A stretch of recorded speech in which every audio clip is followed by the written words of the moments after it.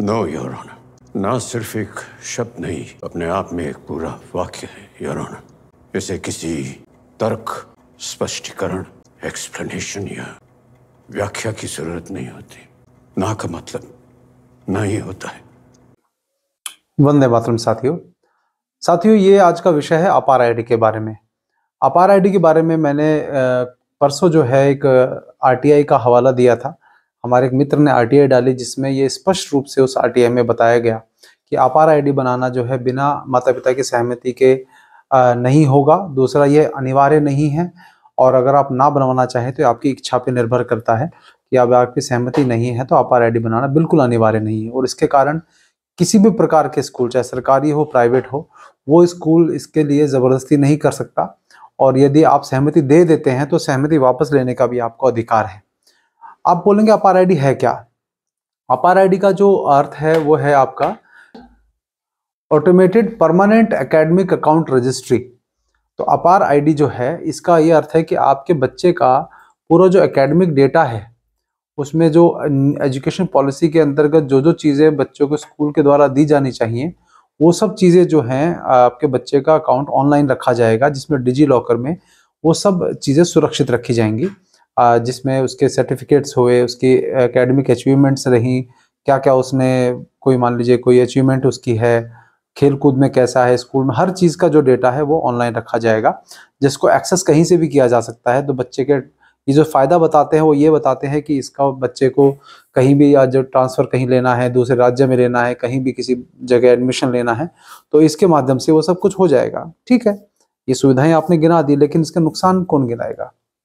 ये नुकसान को गिनाने का यदि हम बात करें, जिसमें कई लोगों को जब मैंने कल ये आरटीआई डाली कि भाई आपको यदि स्कूल आपका ज़बरदस्ती कर रहा है तो ये, आप ये आरटीआई उनको दिखाइए कि भाई आप पार आई के लिए आप ज़बरदस्ती नहीं कर सकते, ये अनिवार्य नहीं है।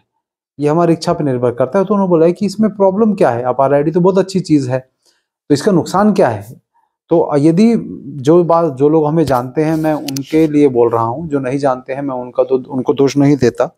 उनको मैं दोष नहीं देता कि हम जब पिछले चार पाँच वर्षों से, जब हम आप लोगों के भले के लिए आपको जागृत करते आ रहे हैं तो आपको मन में पहली बात तो ये प्रश्न आना ही नहीं चाहिए कि यदि हम आपको ये कह रहे हैं कि ये विषय जो है आपके बच्चों के लिए नुकसानदायक हो सकता है तो आप में से ज़्यादा लोगों के मन में यही आता है कि भाई आप लोगों ने तो ठेका लिया हुआ है हर बात का विरोध करने का, बिना बात के आप लोग विरोध करते हो।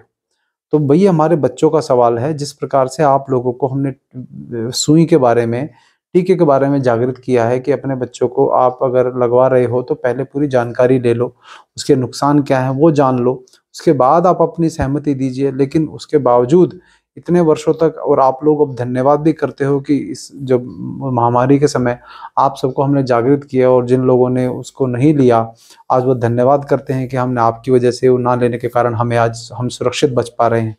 तो जब इतना हम लोग आप लोगों के लिए काम कर रहे हैं, निस्वार्थ भाव से कर रहे हैं, कोई हम आपसे फ़ीस तो ले नहीं रहे तो यदि ये कर रहे हैं तो आप अभी भी हमारी बात पे विश्वास करो कि यदि हम अपार आईडी के बारे में आपको जागृत कर रहे हैं तो उसका कोई कारण है।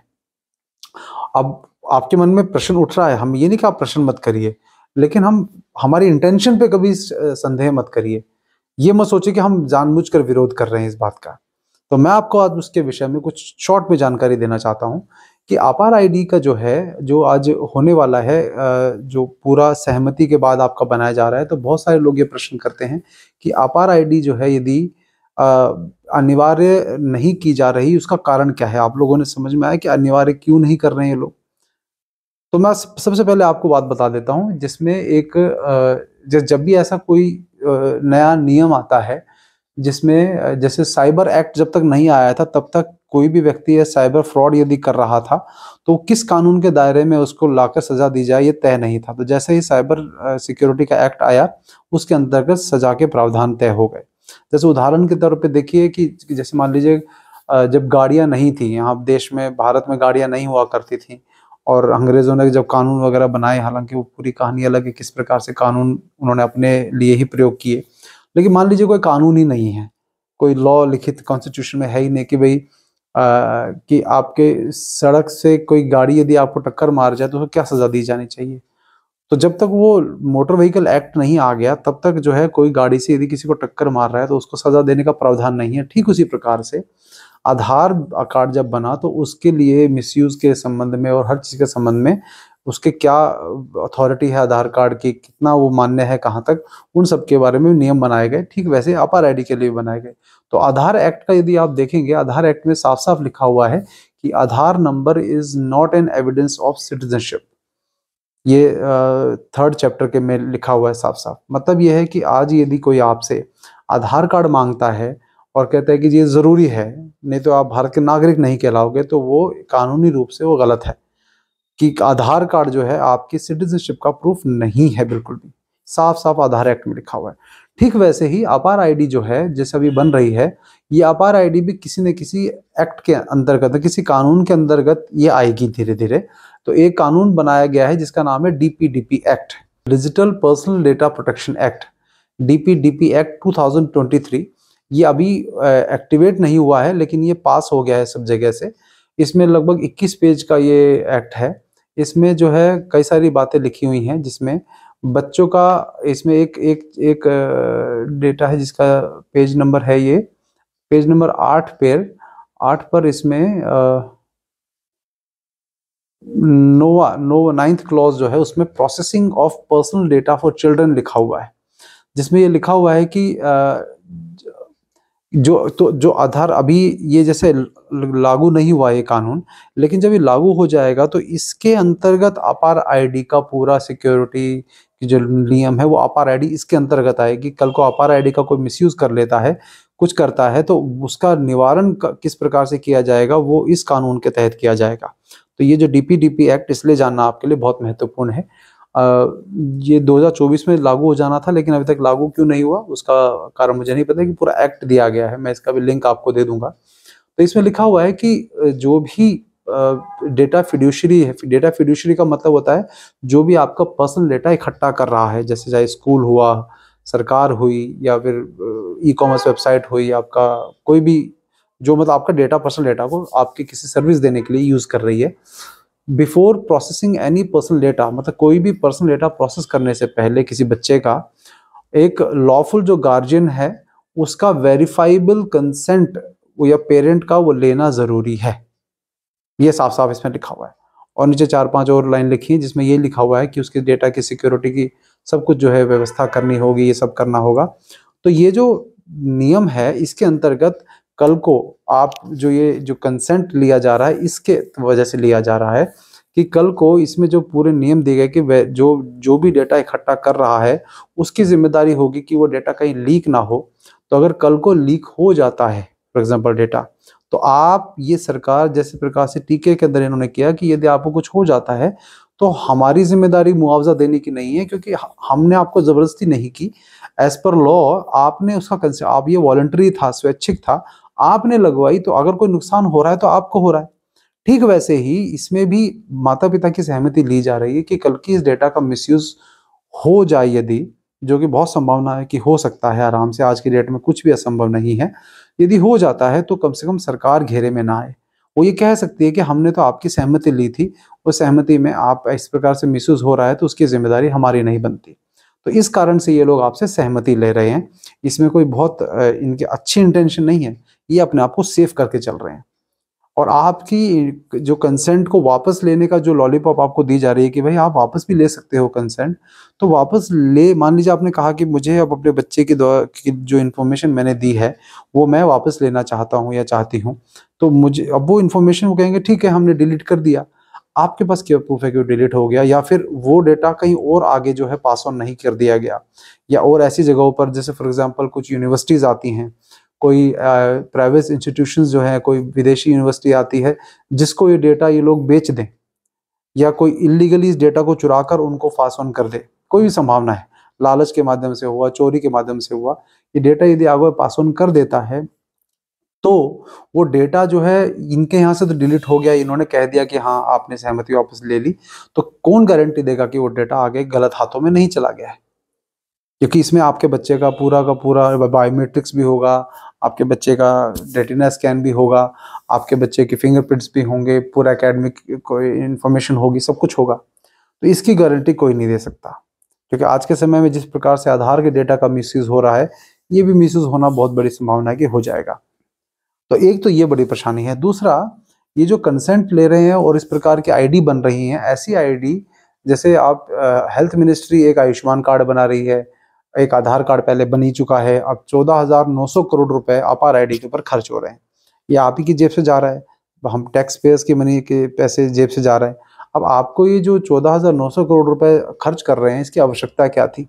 यदि आपने एक इकोसिस्टम बना दिया है, जिसमें आधार आईडी डिजिट लॉकर ये सब यदि बना दिया गया है तो उस आधार आईडी से ही इसको जोड़कर बच्चे के एकेडमिक वाला जोड़ देते आप। लेकिन अब हेल्थ मिनिस्ट्री अपना अलग बना रही है एजुकेशन मिनिस्ट्री अपना अलग बना रही है एग्रीकल्चर मिनिस्ट्री अपना अलग एक आद जो किसान कार्ड अलग बना रही है। ये अलग अलग कार्ड बनाने के नाम पर जो पैसा खर्च हो रहा है, जिसकी आवश्यकता नहीं है, वो एक आधार कार्ड के माध्यम से कर सकते हैं। यदि आधार कार्ड इतना ही अपने आप में एफिशिएंट था, लेकिन इन्होंने उसके उसके तहत ये कार्य नहीं कर रहे। तो ये भी एक बड़ी प्रॉब्लम है। तो ये आई की बनाने की ज़रूरत क्या है? इस आई की बनाने की ज़रूरत आप ध्यान से समझिएगा इस बात को। आगे चलकर कई ऐसी योजनाएँ आएँगी। जिन योजनाओं के तहत जैसे एजुकेशन पॉलिसी जब 2020 में आई थी, उस एजुकेशन पॉलिसी में भी ये साफ़ साफ़ लिखा गया था, एक जगह बहुत छोटे में लिखा गया है कि हमें एजुकेशन पॉलिसी के तहत ये इंश्योर करना है कि सभी बच्चे वैक्सीनेटेड हों। तो एजुकेशन पॉलिसी में वैक्सीनेशन का ज़िक्र उन्होंने एक लाइन में कर दिया है।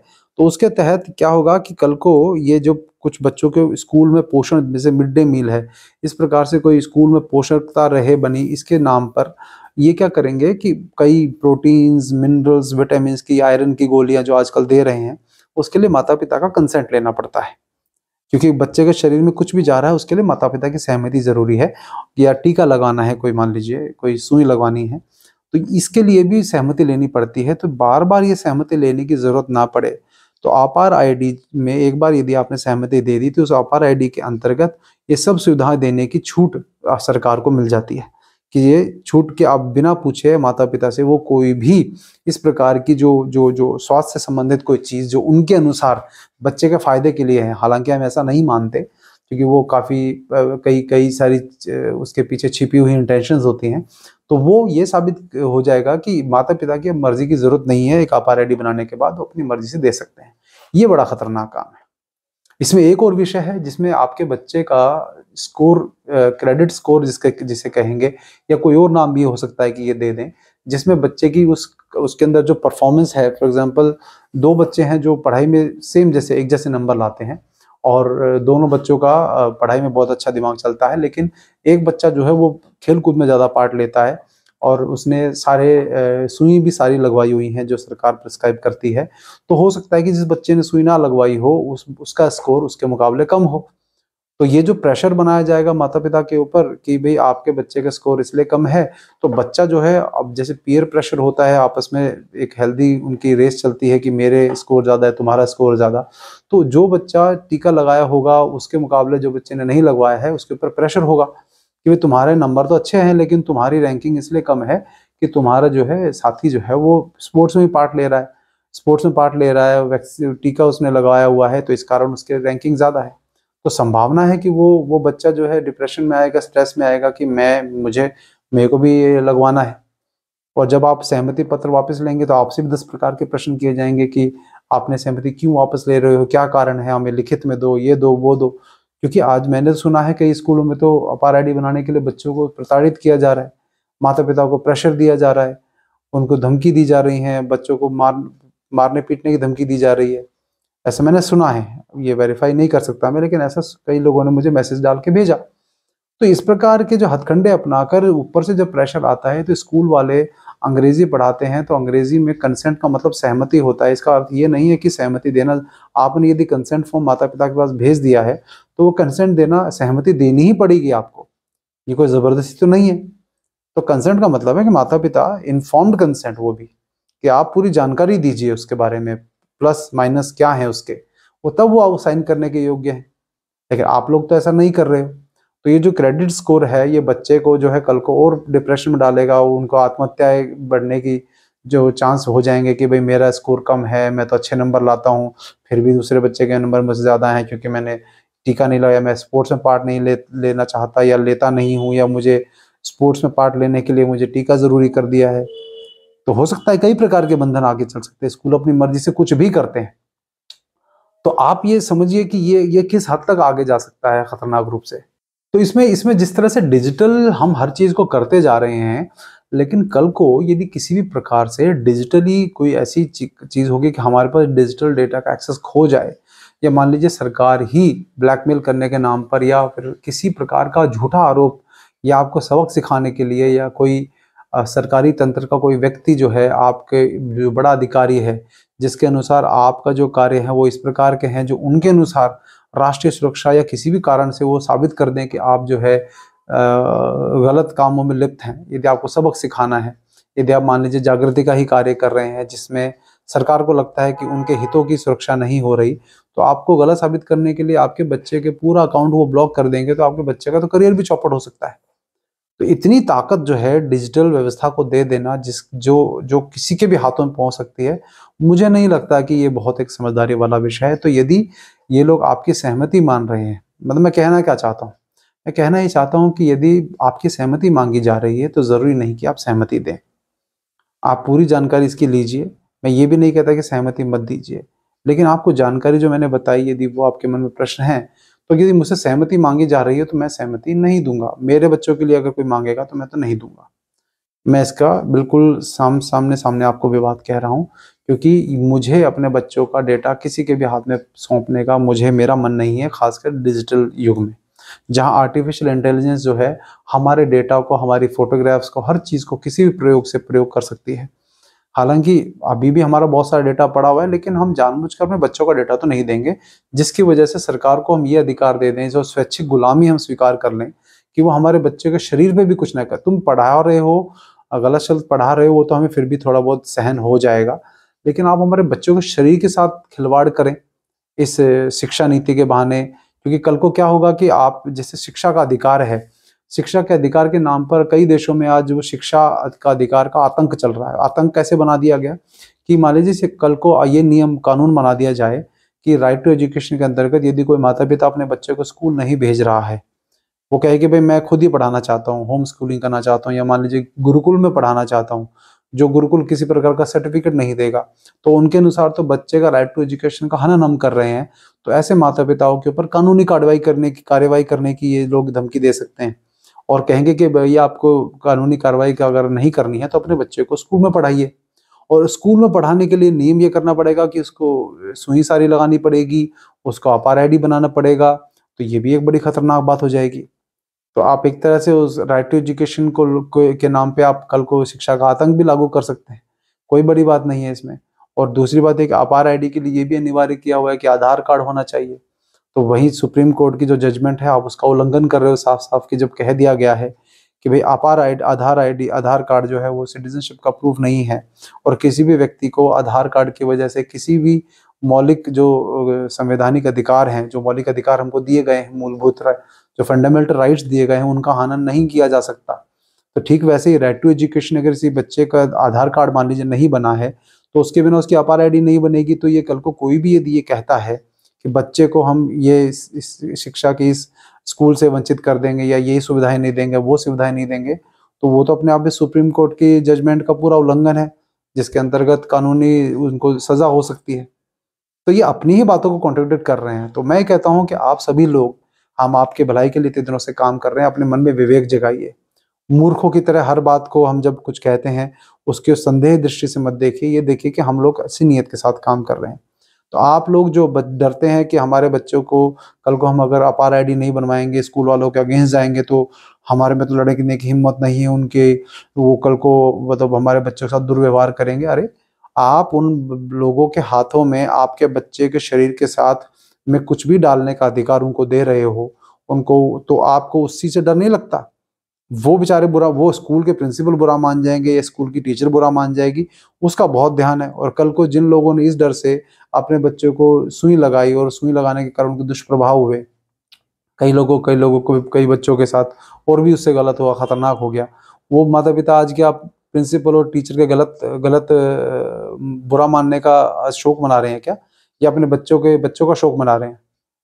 तो आप लोग ये ये ये दूरदर्शिता की कमी के कारण ये शॉर्ट टर्म में किसी को बुरा न लगे या आप में अंदर लड़ने की हिम्मत नहीं है तो भुगतिए फिर। आगे चल के फिर हमारी बातें याद करिएगा आप लोग। तो मैं ये कहना चाह रहा हूँ कि आप सभी थोड़ा निडर बन जाइए। ज्ञान से निर्भयता आती है। ज्ञान से डर नहीं आना चाहिए। तो ज्ञान नॉलेज इन्फॉर्मेशन के द्वारा आप एक सशक्त हथियार अपने हाथ में रखिए और यदि स्कूल वाले ज़बरदस्ती करते हैं तो जाके उनको चुपचाप ये आर दिखा दीजिए, जिसका लिंक मैं नीचे दे रहा हूँ कि भाई ये आर के अंतर्गत हमें ये बनाना अनिवार्य नहीं इसलिए आप कृपया करके ज़बरदस्ती मत करिए। ज़बरदस्ती यदि करेंगे तो ये गलत हो जाएगा। क्योंकि हमारे पास जो है, ये इसका कानूनी अधिकार है हमारे कि हम मना कर सकते हैं। जब इस प्रकार से बिना उनका अपमान किए आप जाकर कानूनी भाषा में समझा देंगे तो वो भी इतने मूर्ख नहीं है। वो मूर्ख बनने की एक्टिंग कर सकते हैं कि भाई हमें कुछ नहीं पता, हमारे को तो ऊपर से आदेश आया है, हम तो करके रहेंगे, आप हमें समझाइए, आप दूसरे स्कूल में ले जाइए। उनको ये भी कहने का अधिकार नहीं है।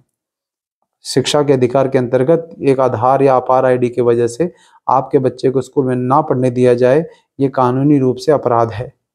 सुप्रीम कोर्ट के जजमेंट का उल्लंघन है। इसीलिए आप सभी इस बात का विशेष ध्यान रखिए, निडर बनिए, साहसी बनिए, विवेकी बनिए और अपने बच्चों की भलाई सोचिए कि जिससे आपके बच्चे महापुरुष बनने की तरफ़ आगे बढ़ें, जिसमें उनके शरीर में क्या डाला जा रहा है, इसका नियंत्रण आपके पास हो। उनके दिमाग में क्या डाला जा रहा है, उसका नियंत्रण आपके पास हो। तो ही आपके बच्चे जो हैं वो सुदृढ़ बन पाएँगे। नहीं तो ये कोई कमी नहीं छोड़ रहे हैं। कि आपके बच्चे और आप लोगों ने भी कमी नहीं छोड़ी हुई है उनके हाथों में मोबाइल पकड़ा कर दिन भर उनको बकवास दिखाने के लिए जो आप लोग प्रेरित करते हो, आप लोगों ने भी कमी नहीं कर रखी है तो कम से कम उसमें और भागीदार मत बनिए। तो इतनी ही मैं बात आपको कहना चाहता हूँ, बाकी किसी प्रकार का कोई प्रश्न हो तो नीचे ईमेल आईडी दी हुई है, उस ईमेल आईडी पे आप यदि कोई प्रश्न करेंगे तो मैं समय मिलने पर ज़रूर उत्तर दूँगा। धन्यवाद, वंदे मातरम।